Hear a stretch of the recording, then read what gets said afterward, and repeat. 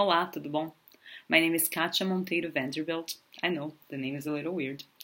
And I'll be your practicum instructor, pronunciation instructor, and cultural activities coordinator. So if you have any questions regarding any of these, you can contact me. Uh, so a little bit about myself. As you may have noticed, based on my accent and my weird name, I'm from Brazil. I grew up in Brazil and I've been in the US for 10 years. Currently, I'm a PhD candidate, a PhD student uh, in the Department of Applied Linguistics in ESL. Uh, I've never taught English in public schools in Brazil, but I'm a product of public education in Brazil. I studied in public schools my entire life, from preschool until the end of high school, actually, until the end of college.